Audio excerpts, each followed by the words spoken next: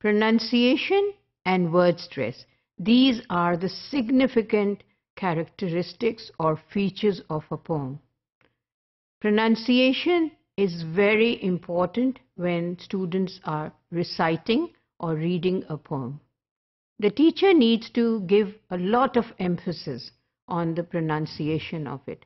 Later, when we'll do the listening skills, we will also talk about improving your pronunciation while you are listening. The best way to improve your pronunciation is by listening.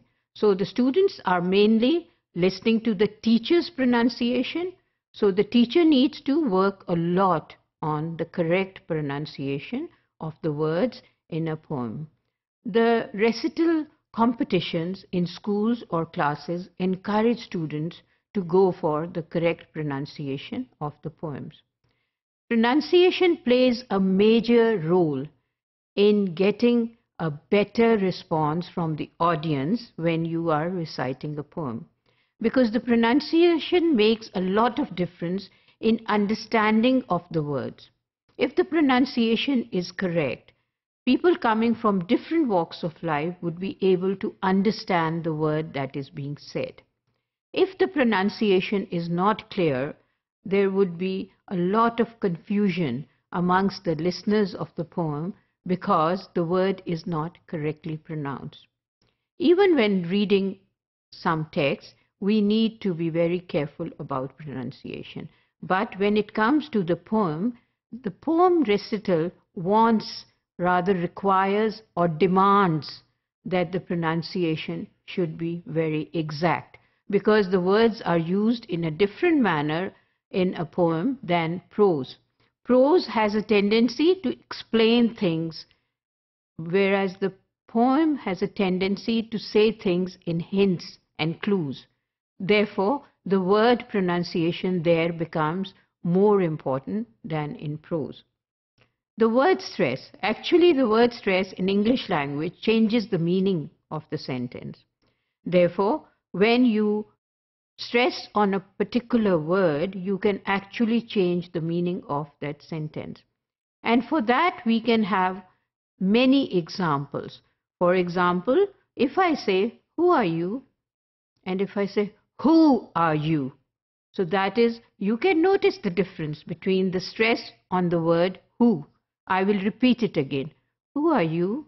Who are you? So in the second sentence, you will notice that I was having more stress on the word who. So basically, I am being rude to somebody or I am telling that person that he has no value, he has no position to say something because who are you? But in case I am saying who are you, I just want to know the person who he is because probably I do not know the person, so I am just asking him to give his identity to me.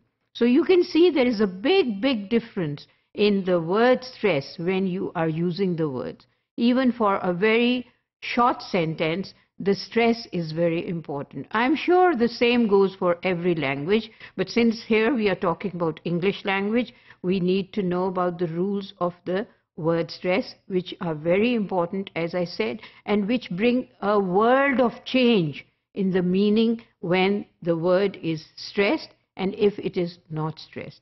So together, both these significant parts of the poem, the pronunciation and the word stress, will be able to explain the meaning of the poem well.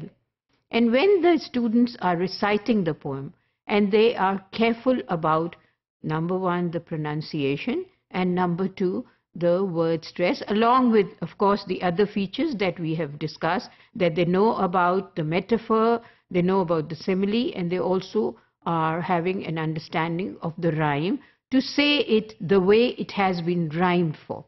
So all these features of the poem are also included in the reading skills because basically when you are reciting a poem, you are reading a poem. And therefore, the words that you are saying should be actually said in their context.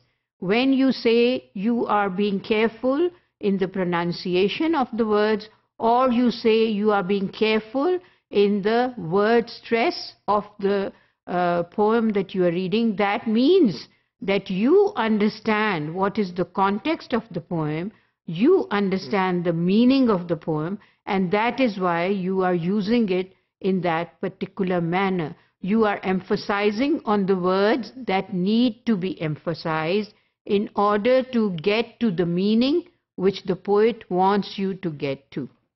Similarly, with the pronunciation, as I said before, you would be able to make clear what the word is, and that you would be only able to do when you know the meaning and the context of that poem.